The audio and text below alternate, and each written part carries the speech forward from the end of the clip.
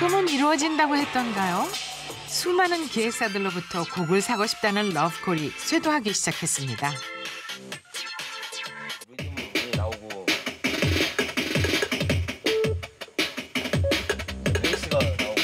최종 학력 중졸. 정식 음악 교육을 받은 적 물론 없죠. 옛날부터 썼던 프로그램이에요.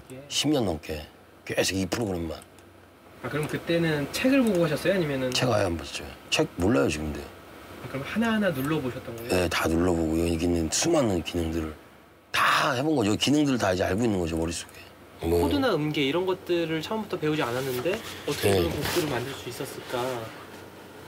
지금도 모른다니까요. 그거는 그냥 아까 보셨지만 알겠지만 그냥 필 가는 대로 그냥 누르면 다 그냥 은, 있는 음 그리고 불협 나오는 건 내 귀가 다 찾아주니까 안 치면 되는 거고.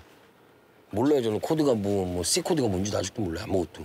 D 코드가 뭔지 기본적인 것도 몰라. 알고 싶지도 않고. 아 그냥 이렇게 feel을 올리면 그냥 이런 좋은 소리가 나오고. 아 이런 리드를 집어넣으면 음역대가 안 부딪히는구나 이런 걸 다 내 귀가 해주니까. 그곡 없이는 가요 프로그램 녹화가 불가능할 정도의 신드롬이었습니다. 저희 아버지는 안 믿으셨어요. 나라고 이거 안 믿으셨어요. 처음에. 진짜 황당해요 지금 생각하면. 그렇게 자랑을 하고 너무 좋아했는데 안 믿으셨어요.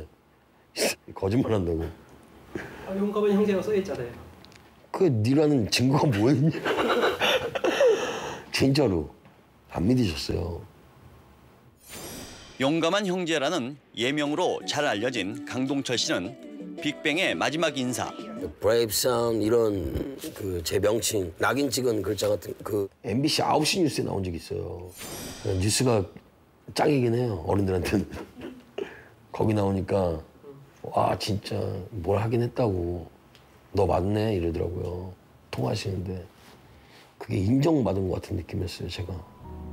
진짜 시간 오랜 시간을 거쳐서 한 분도 뭐 상 타오고 막 이래도 한 번도 그 말을 안 하시는 분이. 그래 네가 한 거 맞는 것 같다. 잘했다 야 그러더라고. 근데 예 그때 그 눈물을 참으려고 엄청 많이 노력했던 것 같아요. 그리고 끊고 나서 그렇게 펑펑 울었던 것 같아. 예.